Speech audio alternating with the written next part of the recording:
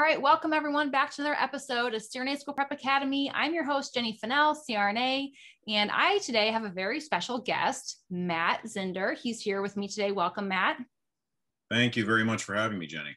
Yeah. And so, you guys, Matt, I'm so excited about having him here because he has been someone who's been in my world now for quite some time, for about a, oh, probably going almost a year now, which is kind of hard to believe. But I know I stumbled upon your um, your involvement in the AANA, and I kind of got tuned in with how he helps students um, cope with stress during school.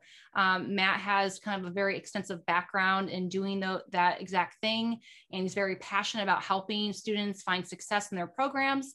Um, he has a very long um, length of a um, of kind of accomplishments. And um, I'd probably be doing him a disservice if I kind of discuss all of them. So I'm going to let him kind of introduce himself and kind of what he's all about um, and his time as a faculty member and um, his own anesthesia practice. So go ahead, take it away, Matt. Well, thanks again, Jenny. I, I really do appreciate you having me on. Uh, and I, the list is not that long, but uh, I, oh, I, think it is.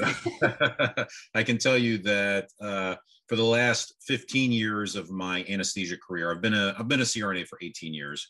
And for the last 15 years, I have owned and operated a mobile anesthesia practice in Maryland where we cover all ambulatory surgery centers throughout the entire state. Uh, and we've been around for 37 years. My father actually started the practice in 1984.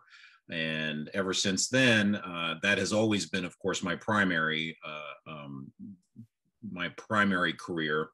But probably in the last 12 or 13 years, I've also gotten into speaking and education.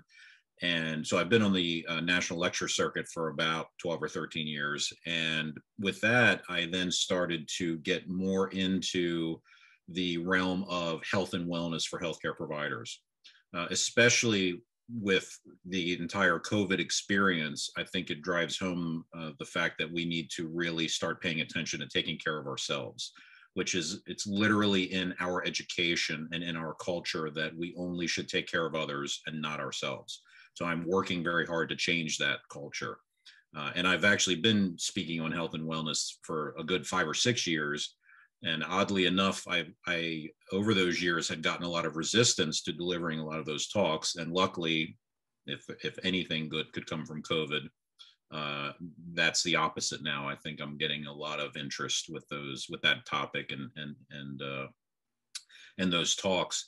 And then since then, I also have then gotten into what you had already mentioned, and that is working with university students and their health and wellness and their stress management, because obviously anyone who goes through a three year or more intense program uh, and then it all comes down to one day if they are normal human beings, they're going to exhibit symptoms of extreme stress that day.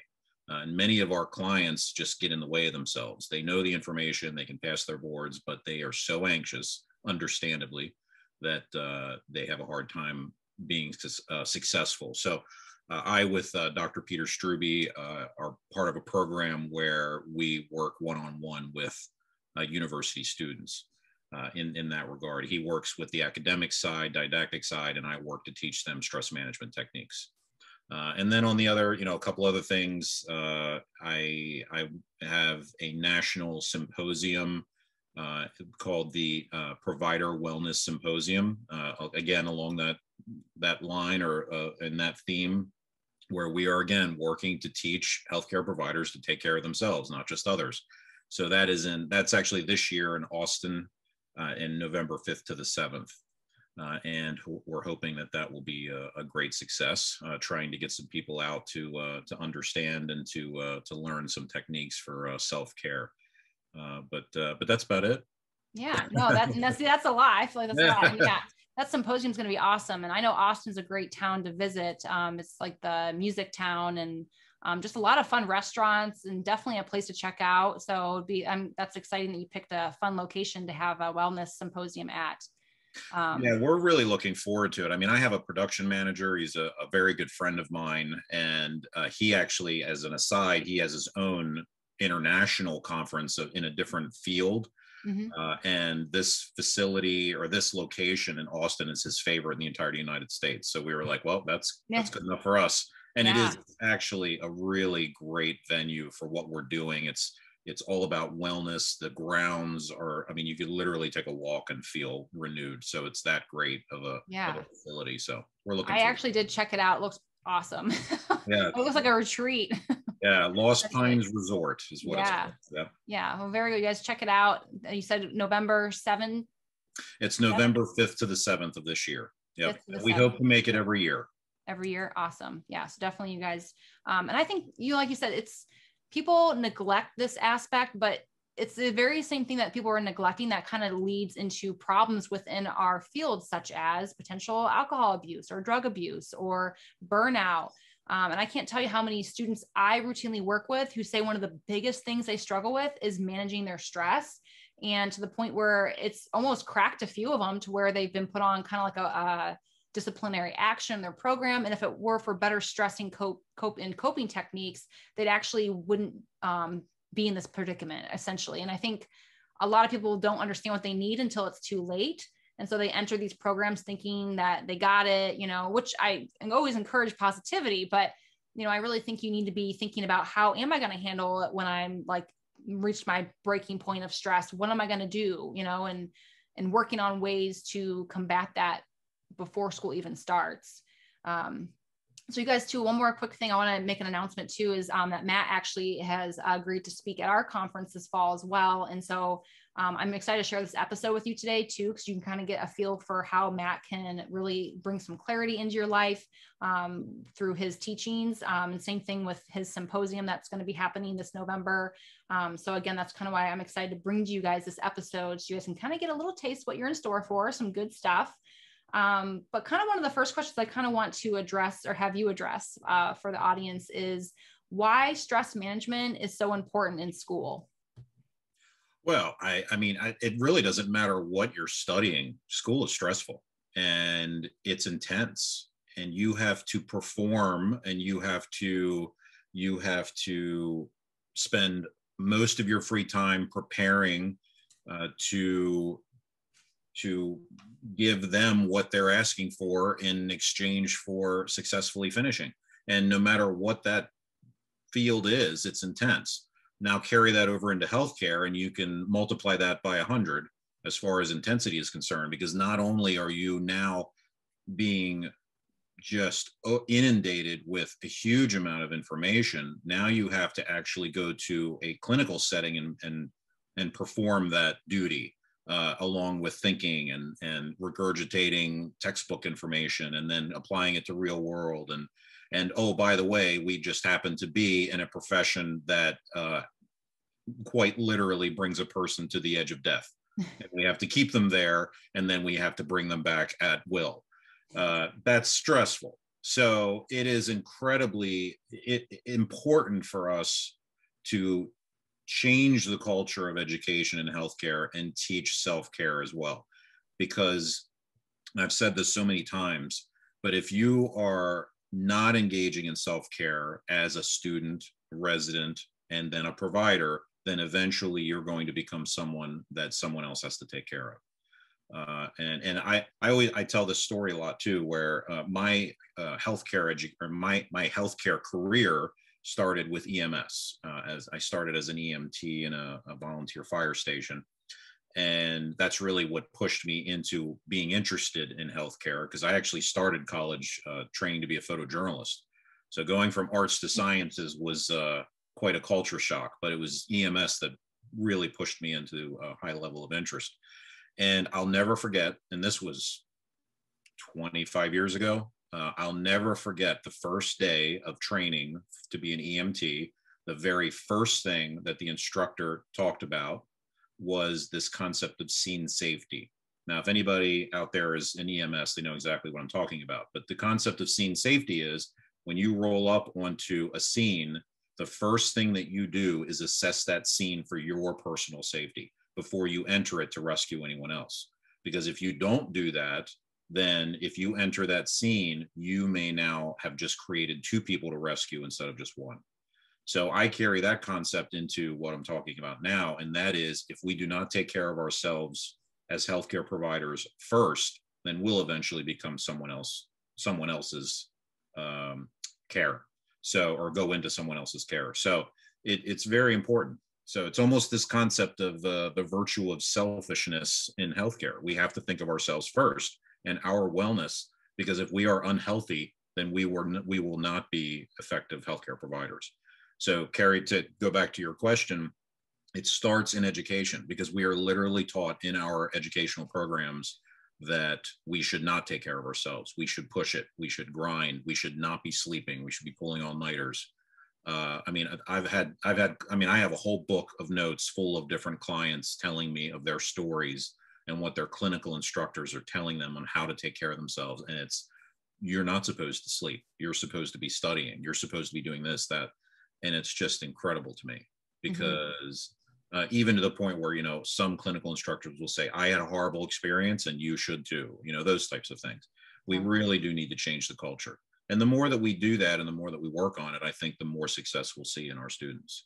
Yeah, I 100% agree. And yeah, you're right. There are a lot of those things going on uh, where students are, even if they don't want to feel like they're pushed up against the wall, they're kind of forced into pushing through a lot of this burnout, pushing through a lot of this stress. And I remember really clearly feeling like I always felt like I had a huge weight on my shoulders. Like I just felt like I was carrying the world. And that was during school. And I just felt like I, I couldn't breathe hard. Like I've almost felt like I couldn't catch my breath because it was like so heavy um, of a feeling of like, like you said, kind of always being on your A game and, and um, just, gosh forbid you had, you know, an off day or something and, you know, always feeling like you have to do more, you have to do more, like you're not doing enough. And um, I even experienced that as a CRNA when, and don't get me wrong, maybe this is a perspective from a, a woman's perspective, but I'm sure it covers a lot of people, but especially having kids, I was under a lot of pressure from people to feel like I needed to keep doing, you know, call and all this overtime and 24 hour shifts and yada, yada, yada. And I remember feeling kind of like, I just, it, it, made me feel uncomfortable in a way that I'm like, why should I have to, why shouldn't have to, I shouldn't have to give you reasons. I should just be able to make my choice and you should be happy for that. And not, I don't need to give you an excuse or a reason why I don't want to work those kind of hours. And um, doesn't make me a bad practitioner, doesn't make me a less of a CRNA. Um, I'm still there for my patients. I still show up and do my, my job well. So why do I have to kill myself and work 60 hours a week? And it is, like you said, kind of an inbred um, in our system. Um, I do think it's changing. I do think that, like you said, as long as we keep making strides to kind of change the culture, it's going to become less, hopefully, become less common. Um, but I always kind of believe, like, even like you said, how people are like, well, I would have a miserable experience. So you have to have a miserable experience. And that's kind of the same thing with like inbred bullying where like you were bullied so you feel like and i i can't stand that. Like it drives me up the wall but i really hope and that you would think that if you were bullied or if you were told that you would actually want to do the opposite but it must just be enough for some people to flip a switch in their brain where they're like this is the standard this is the norm and this is the expectation and if they don't meet that expectation i'm going to let them know that's really unfortunate. And so I encourage you, if you're listening to this and you're a student, know that if you are having a hard time in school, if you are experiencing what I kind of call like inbreeding bullying and pressure to do more, to keep, you know, never sleep, to always work, um, and stuff like that, to know that that's don't let that be your practice. Don't let don't let you ever do that to another student. If you don't like the way it feels currently as a student, then make a point to know that you're not going to be like that when you're a CRNA to your student. Um, yeah, it's really, and you know, a lot of our behavior is how we were raised, right? And that that also carries into our intense experiences in our lives. So if you go through a, an intense educational experience, then you're you're brought up to believe that that's how it works in education, in your training. And then if you ever get to the point where you are then going to be precepting students yourself, you may still think that that is the way to go uh, and and not to say that it shouldn't be intense. Uh, students have to be properly prepared because it's just an intense profession that that we've all chosen. But as an aside, because it's so intense, we need to make sure that that these people are taking care of themselves as well. Right. And I even think it goes as simple as like asking your student, "How are you doing?" And I remember um, there were students that I used to work with who I could tell when they were having something going on in their life, and I could just see it. Like it's like that dullness in their eyes, where you could tell they're mentally checked out. And just asking them, like, "Hey, are you doing okay? Is something going on?" And nine times out of ten, they would love to share. Like they always shared with me what was going on because they were excited that I even asked. Like I actually cared. Um, and if they needed a break to step out to the bathroom to cry it out, that's what we did, you know. And um, I think I encourage people to have that compassion for their students because life still happens. They could have just lost their grandma or their dog could be sick or you know maybe they are on the borderline of being on academic probation in school and they're just there or maybe they've had a preceptor the previous day yell at them for something that is probably pretty minuscule in the big scheme of things but now they feel like a failure and so they're coming they're having a hard time showing up the next day for you because um, they feel like they need to perform you know they they don't have that confidence so asking your student how they're doing and letting them share their thoughts and their fears um, you know so i think that's important too as a preceptor to be that way for your students to let them know that hey i'm a safe person you can talk to. And guess what? I was there one time too. I struggled the same way that you're struggling right now. So let me know what's going on. Um, and that way you can hopefully give them more grace if they need it. Um, you know but like you said just in general the environment is already stressful. It's they're learning a brand new task and skill set they've never done before. It's intimidating even with experience it's intimidating. Um, i was just sharing in my last episode that i'm going back after being off for three months and every time like i've had three kids. You would think by now like I would be used to this feeling of going back to work. I'm still scared to go mm-hmm. back to work after being off for three months. I'm like, I hope I don't forget. and because it's going back to that really intense environment. And so as a student, it's intense every day because again, it's all so new.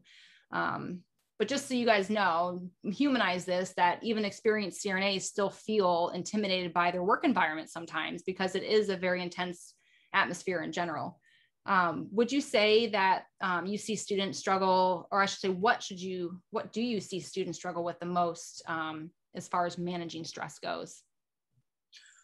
I think just probably knowing how to deal with it. Uh, a lot of it is time management. Uh, we we just recently worked with a particular program where uh, they brought us in to preemptively work with the students even before they graduate and get to the boards. Uh, and it was for really preparing for the SEE exam. And most the the main theme that I got from speaking to each one of these students, because again, our program is one-on-one, uh, was time management and dealing with the boatload of of information and assignments and everything that has to be done, including showing up for clinicals and being competent and safe and knowing what is happening and, and having studied and being prepared for that. So it's a lot. Uh, and and I think on the other side, really just knowing what to do and how to do it. Uh, and and like let's say for a per- for example, if a person has test anxiety, and they're just sitting down and they're just not able to think what can you do about that? So that's kind of what i do is i i discuss really specifically doing three different stress management techniques that i recommend on a daily basis to each one of them. And then after that and i give them all kinds of resources. And then after that we uh, both uh, dr struby and i are available one-on-one for updates and tweaking things and ask answering questions and things like that uh, but really it's the it's it's the lack of knowledge on what to do when a person sits down or is at the head of the bed and is or sits down to a test has test anxiety or is at the head of the bed to deal with a difficult airway or a difficult preceptor one or the other mm-hmm. uh, or a difficult patient and what to do about those feelings of acute stress what to do preemptively, what to do in the moment, what to do afterwards. It's just really uh, uh, uh, an educational, an, an additional educational thing. So, and I've had scores of students say that that they'll do these techniques for the rest of their life, right. even after passing the boards or or where at whatever stage they were in. Mm-hmm. And, and really, the, all humans should be practicing some level of stress management activity or or, or uh, technique because uh, it really is incredibly healthy activities. Mm-hmm. And this kind of include like mindset kind of thing. Would you say like kind of like getting yourself well, in the right mindset? I can tell you, I mean, the three things that I teach uh, on what we call our intake call. So the first time I get on the phone with somebody, in fact, I have four students pending right now that I'll be getting on the phone with uh, starting probably today. So uh, spend a little less than an hour on that first phone call, and I find out what's going on with them, and then and what they're interested in in talking about because I don't first of all, right out of the right out of the gate, I don't push this on anyone mm-hmm. because you you where you can mandate academic information and you can mandate assignments and and any of the information necessary for graduation and and competent uh, pra- you know practice. Uh, you can't mandate stress management activities because if you if you forced a person to do them they won't work for them if they didn't want to do them in the first place. Becomes so stress. people, yeah, people have to want this. Uh, but for those who are interested, uh, I teach mindfulness meditation, uh, breathing exercises, and we talk about uh, hypnosis and hypnotherapy. So I'm, I'm also a hypnotherapist. So what I do is I give them two of my guided hypnosis sessions. Uh, so two of my audio recordings, so you hear my voice on them. And so between the three of those, I recommend all three on a daily basis. And uh, the meditation works on the conscious level, just consciously quieting your mind, giving your brain a reset. The breathing exercises are incredibly effective for acute stress. You don't have to be in any other state, calm or anything. You can just be, you can be driving, you can be sitting down to a test, or you can be standing at the head of the bed. Uh, and then the hypnosis is kind of dealing with that deeper subconscious, changing the hard wiring. So I kind of hit them on all cylinders.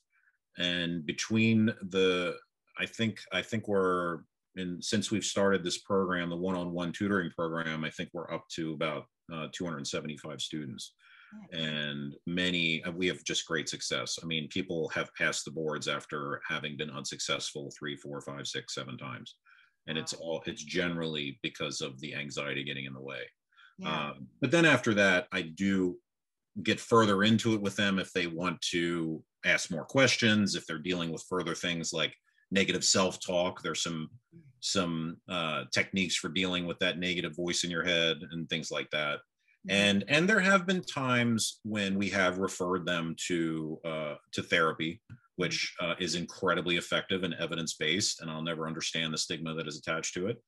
Um, but um, because what I do is not therapy, I'm not a therapist. I want to be clear on that. I, I basically I'm I I teach techniques. Mm-hmm. I'm more of a consultant, and then uh, following that, if it needs to go to another level, we do refer out.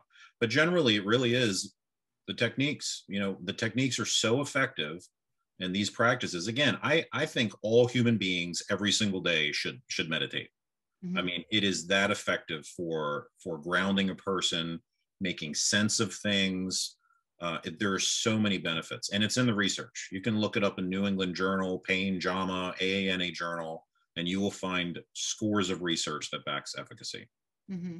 no, so 100% it, they're great. They're they're great techniques. And and again back to your earlier question it really is almost just a lack of knowledge for many people. And once they learn that there are things and techniques out there that that, that they can do and they start to actually uh, do them then there a lot of them are shocked at how effective they are. Mm-hmm. Yeah no i love all of this. is so great and because like you said the time management piece if that's not well that causes the stress and so then it kind of and it just kind of festers in this big ugly circle um, but i love that you teach mindful you know kind of like uh, mindfulness and then the breathing techniques.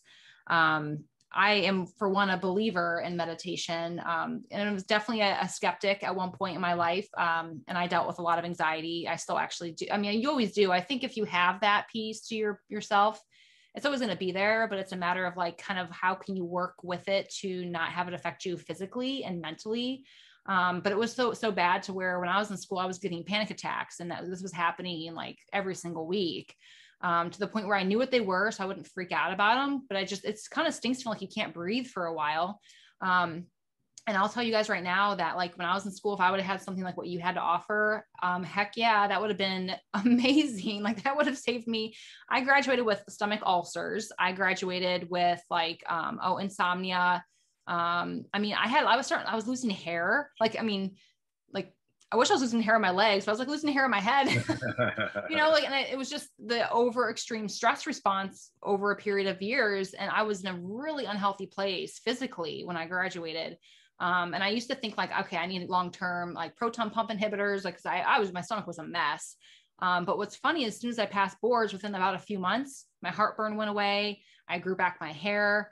I could sleep again, which I thought I was just cursed because I went from being a night shift nurse thinking, okay, it's night shift screwing me up to grad school. And that really, I was on, I was trying like Lunesta, Ambien, Benadryl, nothing. And Ambien I mean don't mix. I found out mm-hmm. too. So like I was doing all these unhealthy things like pumping my body full of more medication and drinking lots of alcohol and like just probably the typical things that students do because they don't know how to cope with stress when again your program offers a solution that's healthy and something they can work with the rest of their lives. So I'll tell you right now, now that I'm like 10 years older, wiser, I have learned how to meditate and it has helped me tremendously like with my pregnancies because I've had anxiety with high blood pressure. So again, now that I can meditate, my blood pressure is not high. And I use that in the OR when I get in that I feel that my that test, that chest tightening come on. Like you said, if you're getting ready to do a difficult airway and you're nervous, you can br- do these breathing exercises no matter where you are once you get good at them. It's more about persistence and learning what works and how slow you have to breathe and how, how like the, the pace of it is kind of what you have to learn. Um, but this, you guys, this stuff, I hope you're enjoying this. This is like gold um, and so so invaluable. And again this is going to help you not only as an srna but the rest of your life. So um, what you do for students is life changing so thank you. Oh well thank you. I mean and and the, the sad thing here is what you described in your experience is more common than it should be. Mm-hmm. and it and that is that is the problem. We are graduating people out of university programs more unhealthy physically than when they started the program. And here they're healthcare providers. It is it is a ridiculous hypocrisy. And i think and i, I mean I'm, I'm really you know it's funny i keep mentioning this in many different venues. I'm actually writing a book on the subject but books are a big nut to crack and i'm having trouble with my own time management uh, because what i'd really love to do is take a few months off completely and literally just write a book but uh, I have begun it, uh, and uh, it is on the subject. It is just it's an examination of of the culture of poor self care and healthcare providers, and of course, you know, I throw in a bunch of uh, techniques to manage and and counteract and and get healthier. Uh, probably the second half of the book, but it um, I think it's a great need for us to really change the culture of our education and make sure that that we are effective healthcare providers. Because if we're not healthy, we're not going to be effective. Uh, I mean, there are some programs that now, and this is not everyone, but there unfortunately are some programs out there eh, creating PTSD in individuals. Mm. Because of because one of the criteria, it's one of my talks, is PTSD in healthcare providers. One of the talk or one of the criteria for diagnosis of PTSD is is exposure to long-term chronic stress. And I we, we've dealt with some clients that are literally, and those are some of the ones that we have elevated into uh, referring to therapy that literally have PTSD from their programs, whether it be from you know verbal abuse or uh, you know being taught not to take care of themselves, things like that. So it, it can be that serious. Mm. And you know one and of course you know one of the criteria for ptsd and healthcare providers anyway is of course also dealing with the you know a critical incident. But then that's where that first second victim scenario comes in that a lot of articles are written about and a lot of research. So that first second victim is the first victim is that patient unfortunately that had the critical incident. The second victim is the healthcare provider that took care of that that, that patient but there was a, an article that I use in my talk that actually talks about the first, second, second, and third victim. So again, the first victim is that patient, unfortunately, that dealt with the or that had a critical incident. The second victim is the healthcare provider. The third victim is that healthcare provider's next patient because they're no longer the same healthcare mm-hmm. provider. So you can carry that concept into long-term chronic stress as well are you a healthy individual or healthy enough to be an effective healthcare provider? Mm. It's a question to ask oneself. Yeah, no, that's so good. And it's kind of scary now that I'm like thinking about all that. I'm like, holy moly, like it's a huge can of worms, like you're talking about. and I can think of so many people, and I'm like, oh, yeah. I do have one request. When you get this book done, can you make an odd? Can you put it on audio, please, so I can listen to it because I want to buy it. I would be happy to do it audio. I, I I have to get my biggest thing is uh, when it comes to getting a book published is you got to go through that whole other world of yeah. getting the agent and the publishing house to be interested in in answering the phone when you call and mm-hmm. so it's um it, it's a it's again it's a it's a whole nother world that i hope that i'll i hope to be able to uh, navigate because yeah. i personally i'm biased but i personally think it's a very important subject mm-hmm. no 100% for sure it's important and again like i said it's kind of it's a neglected subject and i there probably is some kind of stigmatism to it um unfortunately i think everyone just sees that maybe if i admit to this maybe i'm weak or maybe i'm not qualified for this and they kind of see it that way so they just don't want to talk about it.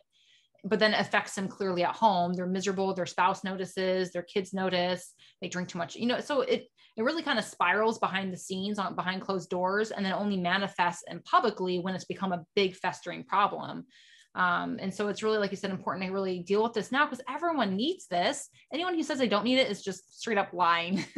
yeah. Um, because it's so important. We're all human. Yeah. What's that? Or they're following the culture. You know, it's yeah. how they've been brought up to think. They they're they've been we we literally teach not to take care of yourself. You're only supposed to take care of others. And it just mm-hmm. it's it I think we would have a much healthier and more effective healthcare provider population if we did the opposite. Yeah, no, I 100% agree. Um, so I guess if I were to ask you if, if students could just do pick one of those things to do prior to school starting, what do you think is like the most important aspect um, for them to start doing before they actually start school if they had to do one thing? You mean one of those techniques? Yeah, if they had to pick one to work on. Um, well, I, it, it, I would say meditation is just so incredibly effective and incredibly healthy. Uh, but at the risk of not truly answering your question, I'm going to add, I'm going to say two out of the hmm, three. Okay. Uh, I would also recommend the breathing exercises because breathing is so incredibly effective and and healthy in your everyday life. Uh, mm-hmm. if you literally just stop for a moment and pay attention to your breathing, then by the way you're meditating i was going to say that's what i always thought too. Um, yeah. So and you can do things such i mean you can do such easy things. I learned this from my business partner uh, with the symposium uh, his name's rodrigo garcia. Uh, he he actually owns and operates uh, he's the ceo of a treatment center for healthcare providers that are dealing with substance use disorder. And one of his therapists that works for him uh, came up with this idea where every time he's at a stoplight, he counts his breaths to see how many breaths he'll he'll have until it turns green again. And for and first of all, that means he's doing a breathing exercise which calms you down. He's meditating because he's paying attention to the present moment, and he's no longer annoyed by how long that light is lasting. and there's such easy techniques like that that literally are so incredibly effective for a healthier mindset set and and just general wellness. I mean again meditation has been shown in the research to literally increase the gray matter in your brain in areas of compassion and positivity. They it literally can change the structure of your brain for the positive. Mm-hmm. whereas chronic stress does the opposite. They show literal structural changes to your brain toward the negative, like decreased blood flow and shrinking gray matter. And I mean, it really is that serious. Mm-hmm. And not to mention all the other systems that that are affected by long-term chronic stress. So um, I would say both really to to really look at. Um, there's a lot of lot of literature now on uh, breath work mm-hmm. and different breathing exercises from the type of breathing exercises that will calm you down, keep you calm, uh, relax you to the opposite, like Wim Hof method, which is the concept of hormetic stress, which is intentionally placing yourself into the sympathetic response, which actually allows your body to get the short term benefits of stress, but then bring yourself easier back down to parasympathetic. So there, there's so many benefits hmm. uh, to, to practicing those different techniques. Yeah, no, and obviously there's a lot more to it too. There's a bunch of different techniques, like you said, to actually get the desired effect from it. Um, one thing um, I know that I that you I had seen through some of the avenues that you had posted about was this little um, device. You'll probably have to remember the name of it because I already forget, but it's essentially a breathing device. Yeah, the, um, it's I love this device in its simplicity and that it's called the switch. Now, the reason it's called the switch is because it switches you from sympathetic to parasympathetic. Oh. And it literally is just a little tube. It's Mhm. about maybe two inches in length, maybe maybe an inch and a half. It's a Mhm. little metal tube. It's very, uh, it's made very, uh, it's an, it's attractive. So they kind of bill it as a piece of jewelry. Mhm. They sell it with a chain to wear around your neck. But literally, it just assists with breathing exercises. So what you do is, uh, uh, um, when you take when you do a breathing exercise, let's say one where you take a big deep breath in through your nose. What you want to do is you want to make your out breath longer than your in breath. Okay, because actually, if you can uh, um, change the the chemistry of your body meaning you know your your uh, acid base balance you know the the the level of co2 in your body it actually will uh, facilitate uptake more uptake of oxygen into your cells so it actually that's one of the reasons you feel really good when you're doing one of these breathing exercises because it's a chemical change so what this tube or little straw does is you take a good deep breath in through your nose and you put this in your mouth and you let the breath release through the straw. You don't blow through it, you literally just let it release through the straw. And it creates a seven second exhalation in an adult. And if you do that breathing exercise literally like two or three times, when you're done, you feel a complete release of tension. You feel Mhm. completely relaxed. Uh, so um, yeah, I mean, if I, I've actually been in touch with the uh, the owner and the inventor of that, and uh, he gave me actually a a discount code if you want to put that in the show Yeah. notes. Yeah, I definitely. I'll link to that because you guys, that little device is actually what helped me when I was learning. Because it was what I struggled with was learning the timing of it, and that makes it so easy. Yes, right. Um, because a lot of people have a hard time with the out breath. You uh-huh. can do a breathing exercise, but they have a hard time extending that out Yes. breath, even to the point where, like, when if you're not using the device, now the device makes it very easy, but if you're not using the device and you feel like your out breath is finished, keep going and push. Hmm. Once you get to the point of where it's no longer naturally releasing, push for a couple more seconds. So I teach box breathing. Mhm. So box breathing is in for four, hold for four, out for four, hold for four. Something that the military teaches. Hmm. I change it though. I say in for four, hold for four, out for seven, hold for four. Hmm. Okay. And even if you get to four and, and you don't have anything left, push for another three seconds. Hmm. Because again, you really want that out breath to be longer. And this device really makes that very, very easy. Yeah, no, it's really cool. I'll definitely link to it in case you guys want to practice. This is what helped me. Um, because even when you when you get used to using it on a daily basis, when you don't have it, I don't always wear mine around my neck because I feel kind of kind of cheesy doing it. But um, it helps me know that what I what I to expect when I do it on my own. Um, and it was actually kind of nice wearing masks around town because I never really worried about people seeing me pursing my lips, practicing my breathing. But I do it routinely, like when I'm in the car. If I'm waiting for the doctor to come in the doctor's office, I'll practice the breathing technique. Um, so it's it's been incredible what it's done. At least I can speak for myself, who I've battled high blood pressure with anxiety, tachycardia, all that stuff. Um, I don't have that if I practice the breathing technique. So um, I encourage you guys, what uh, Matt is sharing with you, is so so important for you to do and practice prior to starting school. So I think we've shared a lot of great information today.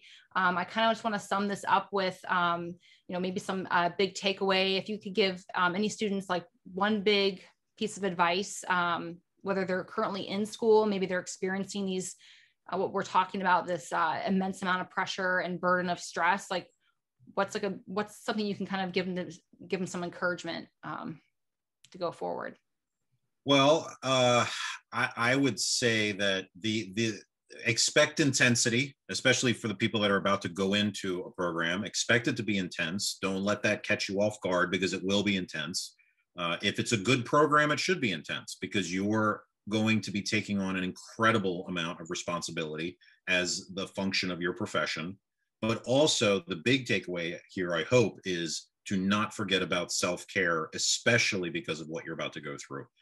It i don't care if you feel like you have no time whatsoever. There's always time to take care of yourself. I don't care what anyone is telling you. It's not anyone's right to tell you that you're not allowed to engage in self-care. Uh, i don't care what level they are at in this program. Uh, you so that means you need to sleep. It means you need to exercise whatever that might be whether it's a treadmill or a walk you need to move your body you need to get outside you need to eat right And I know this is all cliche, but unfortunately, even though it's cliche, nine times out of 10, people aren't doing it. Mm-hmm. That's why we have a pretty unhealthy population in this country. Mm-hmm. Uh, and we all know what to do. We just actually need to do it. Mm-hmm. Uh, and then also take the extra step and practice these other stress management techniques. And it can be, there's a whole list. It doesn't have to just be what I'm telling you or what I teach. Uh, read up a little bit on it. There's scores of research, there's scores of literature. Uh, if anybody is a reader and wants to read up on, on meditation, a very simple book uh, is called 10% Happier. It's written by Dan Harris. Uh, he's an ABC News correspondent, and uh, he went at it as a fidgety skeptic. That's what that's how he describes himself. Mm-hmm. Uh, he was he's skeptical of the entire self-help revolution, but yet now he has an entire company called 10% Happier that teaches meditation. So uh, that's a good book to get an introduction to it. Uh, another great book for breath work is called Breath by James Nestor. Fascinating book. He's also going to be the, the keynote speaker at the symposium. Mm. Uh, and then another book by Dan Brule. It's just called Breathwork. Uh, so between those two, that would be a really good introduction on some other techniques that you could get into. And we're talking minutes a day here, by the way. I'm not talking about getting onto a treadmill for an hour and running as fast as you can until you reach total exhaustion. Uh, what I'm talking about is with with mindfulness meditation, five to 15 minutes a day. We're not talking about a lot of time here. So really, as far as I'm concerned, really no excuse to not have a daily practice. Mm-hmm. And by the way, and also um, breathing exercises, you're breathing anyway. so let's you know be a little more active uh, in it, and you'll actually gain more health benefits from it, as opposed to one of the wonderful new phenomenons that a lot of people are not even ex- realizing that they're experiencing is something called internet apnea, which is sitting at your computer and being so ingrained and focused on focused on this outwardly world that you are paying attention to that you forget to breathe. And there have been studies where people have a pulse ox on while they're just doing the internet and their their saturations literally drop hmm. now they're not apneic like sleep apnea, so they, you know, once their body realizes this is happening, they just start breathing, but it's not even noticeable. Their breaths are shallow and they're literally not taking in the amount of oxygen and getting rid of the amount of CO2 that they should be. So if we engage in more of these uh, exercises, then we actually literally will be physically healthier. Wow. So again, really the overall theme here is don't forget about self care. In fact, you need to make it a, a priority, especially now. Awesome. Well, thank you so much for sharing all this. I guess I know you said you work with programs and those students, but do you also work with students outside of that? Like if they were yes. to contact yes. you? yes, absolutely. We do one-on-one uh, work with with uh, students and residents. So, and it can be at any any stage of their program. It can be students about to start, it can be students in the program, and we work with a lot of students who are working on preparing for the board, so graduates. Okay. Uh, and and then of course we do work with programs. I think you know I, we're in right now with uh, about um, three or four universities, depending on time of year. I'm currently adjunct at uh, Georgetown and University of Wisconsin, uh, but that's with other classes, of course, too but mm. but I do throw in the the the the health and wellness stuff as well as best as, as much as the program director will allow me but uh, but that's how our this program the tutoring program started was one-on-one and not affiliated with the school just the students coming to us and saying hey I'm you know i could use the the extra help and uh, and that's what makes this program unique is it literally is live one-on-one so we tailor it to the needs of the client that's awesome Awesome. Well, I hope you guys uh, remember download this episode because this is going to be awesome. So if you're going to be years away from school, save this because you want to reach out to Matt when you need him. um, but thank you so much, Matt, for joining us today. And you are awesome. And I'm so excited for you to be joining us at our conference. As you guys know, he's having a health and wellness symposium in Austin, Texas on November 5th through November 7th. Check that out. Is there a web, and I'll link to all this in the show notes uh, for the websites and for the link for the breathing tool for you guys to get started practicing today. So with that, we'll see you guys back next week. Thanks, Matt. Thank you.